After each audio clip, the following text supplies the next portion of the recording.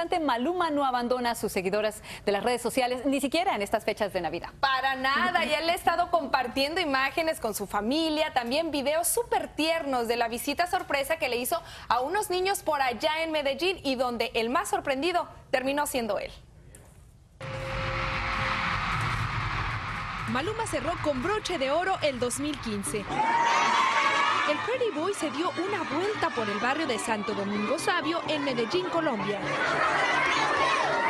Con esa emoción y euforia lo recibieron decenas de niños de dicho sector, que es uno de los más pobres en la zona.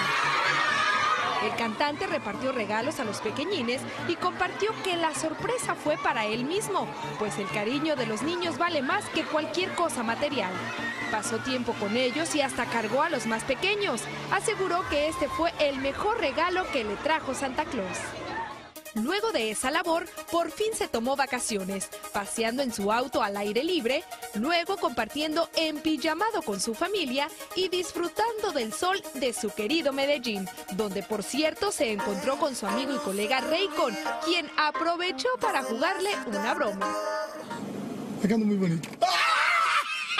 Raycon le dijo que posaban para una selfie, pero oh sorpresa, se trataba de un video. Y cuando Maluma se dio cuenta, soltó tremendas carcajadas.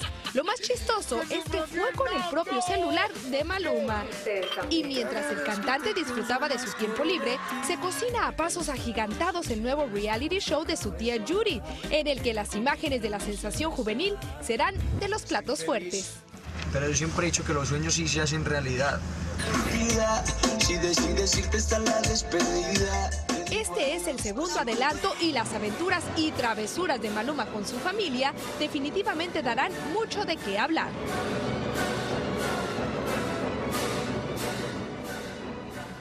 Aunque todavía no se ha anunciado la fecha oficial, se espera que el reality salga a través de la plataforma de YouTube a principios del próximo año y estoy segura que todas las fanáticas lo están esperando con ansias.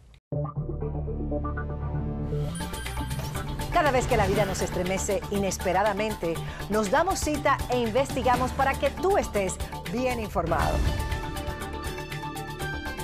En el Rojo Vivo estamos conectados con nuestra comunidad, con sus necesidades y sus urgencias. A las 4, 3 Centro. Somos tu primer frente de información.